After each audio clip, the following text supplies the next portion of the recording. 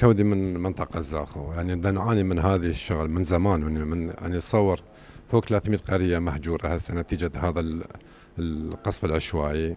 فوق 120 مواطن مدني قروي بسيط استشهدوا خلال هالأربع سنوات.